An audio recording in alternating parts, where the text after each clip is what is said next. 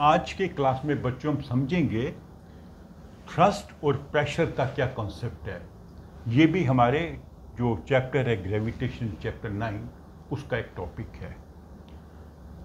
Thrust basically एक प्रकार की फोर्स है। ठीक है? मान लीजिए आप एक बोट पर खड़े हैं। सीधे। ठीक है? आप एक बोर्ड पर ऐसे खड़े हैं। तो कई बार क्या होता है कि वो जो बोर्ड है, वो थोड़ा सा वीक है। तो यहाँ से वो कई बार आपको लगता है क्रैक हो रहा है। या आप रेत में खड़े हैं तो आपके पाँव रेत में धीरे धीरे धसने लगते हैं। ऐसा क्यों हो रहा है कि ये क्रैक हो रहा है या ये पाँव आपके धस रहे हैं? ये आपके जो वेट के कारण फोर्स पड़ रहा है। आप सीधे खड़े हैं, धरती आपको नीचे खींच रही है।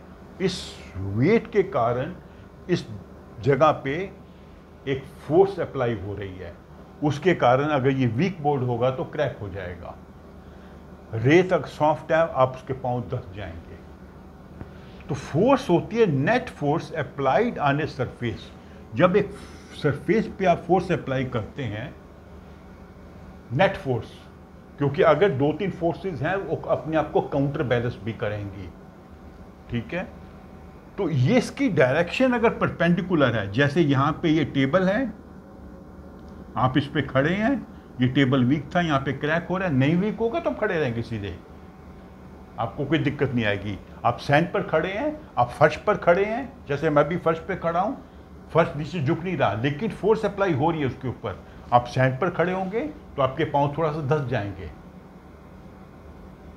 तो जो आप फोर्स अप्लाई करते हैं किसी चीज़ पर, जो और अगर और उसकी अगर डायरेक्शन जो है, परपेंडिकुलर है टू द सरफेस तो उसे कहेंगे थ्रस्ट। ये टोटल फोर्स है।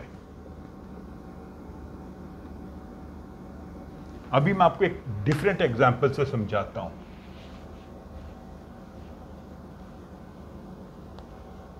मान लीजिए एक टेबल है ये, इसके ऊपर आपने एक बॉक्स रखा हुआ है।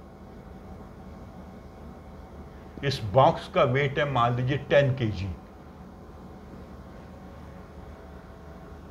ये इसका, सॉरी, वेट नहीं है। वेट हमेशा यूज़ नहीं करना चाहिए। इसका मास है।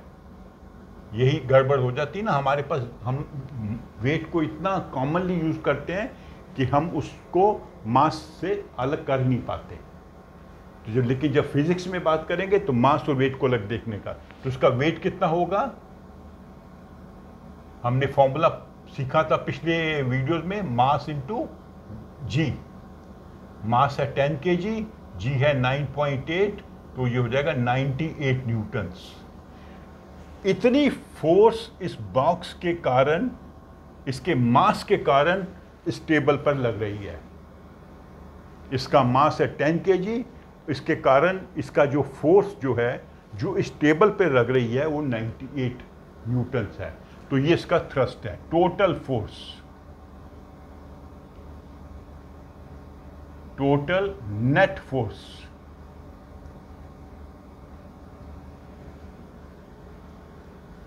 clear हो गया कि जब हम एक फोर्स अप्लाई करते हैं परपेंडिकुलर डायरेक्शन में, एक सरफेस के ऊपर तो जो नेट फोर्स होगी, वो उसकी थ्रस्ट होगी।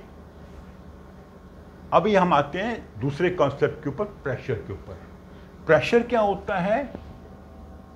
थ्रस्ट डिवाइडेड बाय एरिया अभी हम आ जाते हैं इसी एग्ज़ाम्पल पे। हम ये ऐसा अज्यूम करते हैं कि ये बॉक्स है, ऐसा। ये टेबल पे ऐसे पड़ा हुआ है।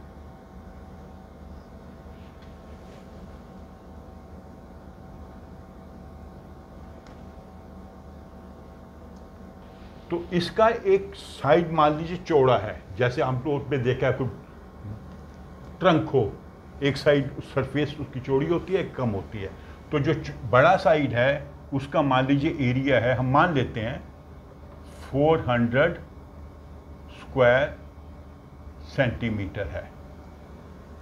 वो जो उसकी जो स्मॉलर साइज़ है, उसका एरिया है स्मॉलर साइज़ का एरिया मान लीजिए हंड्रेड स्क्वायर सेंटीमीटर तो अगर हम इसको ऐसे रखते हैं, इस ब्रॉडर साइड से ट्रंक के ऊपर उसके टेबल के ऊपर रखते हैं तो ये कितनी प्रेशर एग्जर्ट करेगा? ये एग्जर्ट करेगा 98 इसकी थ्रस्ट है 98 को डिवाइड करना पड़ेगा 400 स्क्वायर सेंटीमीटर से। लेकिन हमें ये चाहिए स्क्वायर मीटर में। तो इसको जब हम थाउज़ेंड से डिवाइड करेंगे तो ये बन जाएगा 0.04 स्क्वायर मीटर। तो 0.04 से इसको जब डिवाइड करेंगे तो इसका आंसर बनेगा 98,000 बाई फोर सोलह चौके नहीं, चार है ना? चौबीस। चार चौके सोलह चार नौ, चार चार इतनी। इतना ये जो है प्रेशर एग्जर्ट करेगा इस टेबल के ऊपर। क्योंकि जब हमने ब्रॉडर साइड इसको से रखा। लेकिन अगर मान लो ऐसे रखते हैं, इसको छोटी साइड नीचे रखते हैं, ऐसे खड़ा कर देते हैं।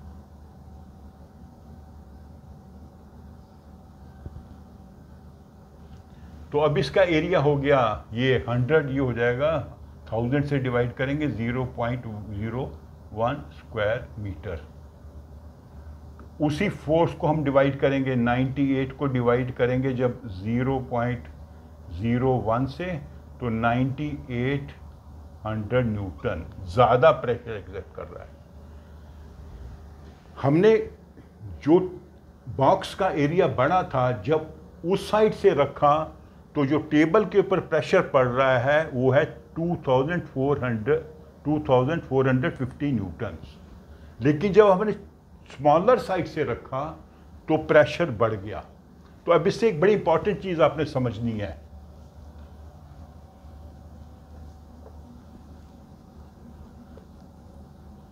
जब हमारा थ्रस्ट फिक्स्ड है, जो फोर्स अप्लाई कर रहे हैं वो फिक्स्ड है।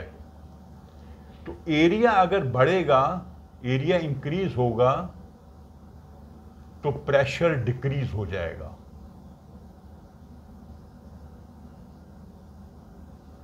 और एरिया कम होगा डिक्रीज होगा, वही थ्रस्ट है तो प्रेशर बढ़ जाएगा। अब इसका कॉमन एग्ज़ाम्पल जो आपको बुक में भी पढ़ने को मिलेगा, कील। कील आप जानते हैं, ऊपर से चौड़ा होता है। ये एरिया ज़्यादा है, नीचे से पॉइंट नोक होती है। जब आप हथौड़ी से आप इसको हिट करते हैं, दीवार में लगाने के लिए या किसी ऑब्जेक्ट में लगाने के लिए तो जब दीवार, आपने कील को, उसको हिट किया तो मान लो आपने जो फोर्स लगाई, उसकी अमाउंट था क्यू कुछ भी हो सकता है वो। हज़ार न्यूटन हो सकता है 500 न्यूटन हो सकता है 200 न्यूटन हो सकता है। तो जब आप यहाँ से इसको हिट कर रहे हैं, इसका एरिया बहुत थोड़ा है पॉइंट का तो प्रेशर बहुत अधिक होगा। और ये जो है कील दीवार में या उस ऑब्जेक्ट में खुब जाएगा। लेकिन आप उल्टा करिए, यहाँ से हथौड़ा मारिए और इसको दीवार पे रखिए। तो अभी प्रेशर कम हो जाएगा क्योंकि एरिया बढ़ गया। एरिया बढ़ने से प्रेशर कम हो जाता है। ताकत हम उतनी लगा रहे हैं फोर्स हम उतनी लगा रहे हैं। क्यू यूनिट तो अभी ये दीवार में या लकड़ी में आप डाल रहे हैं तो नहीं जाएगा। इसलिए कील खोदने के जब लगाते हैं तो ये पॉइंट जो नुकीली साइड होती है, वहाँ से हम उसको लगाते हैं। नुकीली साइड में जितनी भी फोर्स लगाएँगे प्रेशर बढ़ता जाएगा। ऐसे चाकू होता है, अगर आपने देखा है तो। एक साइड से बिल्कुल शार्प होता है, एक साइड से थोड़ा सा मोटा होता है।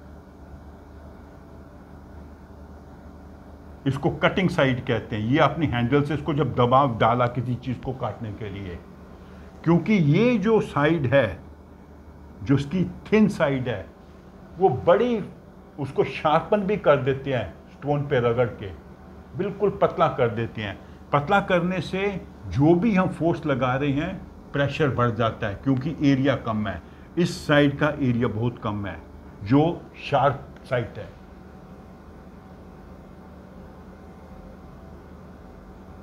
कुल्हाड़ी में देखिए, एक साइड शार्प होती है, कुल्हाड़ी, ऐसे। यहाँ पे उसकी रॉड होती है। ये साइड बहुत शार्प होती है। आपने इसको कुल्हाड़ी को मारा ज़ोर से ऐसे। कुछ आपने फोर्स लगाई। तो यहाँ पे जो प्रेशर है बहुत ज़्यादा हो जाएगा। क्यों? एरिया बहुत कम है। जितना हम एरिया कम करते जाएँगे, जैसे कील की नोक है, या ये नाइफ का शार्प एज है, या कुल्हाड़ी का शार्प एज है तो वहाँ पे प्रेशर ज़्यादा होगा, प्रेशर ज़्यादा होगा, प्रेशर ज़्यादा होगा।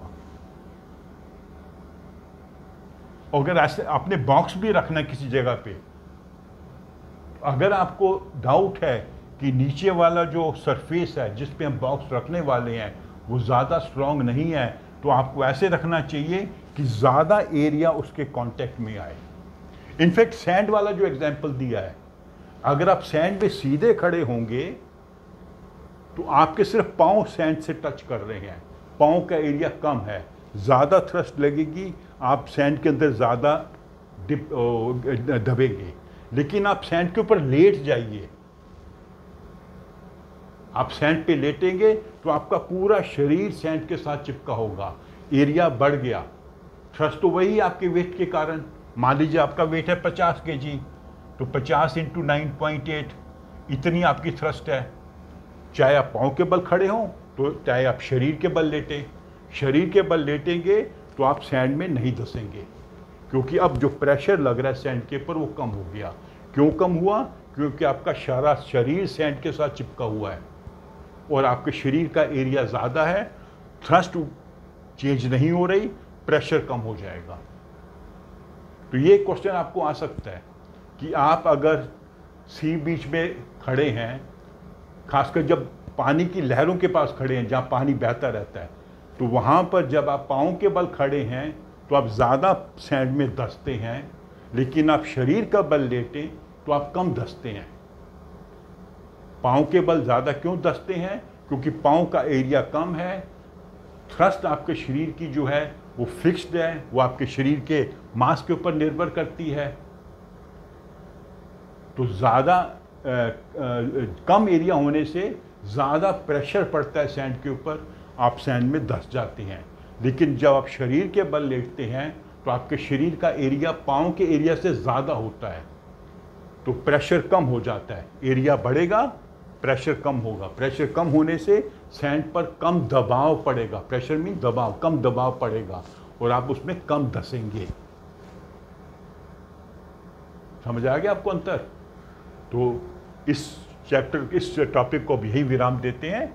इसका जो नेक्स्ट टॉपिक है प्रेशर ड्यू टू लिक्वर्ड्स या फ्लूड्स जो कहते हैं, वो हम अगले टॉपिक में करेंगे। उसमें बयांसी का कंसेप्ट भी आएगा और आर्किमेट्स प्रिंसिपल भी आएगा। तो आप मेरी इस वीडियो को लाइक करो और अपने फ्रेंड्स के साथ शेयर भी करो। Thank you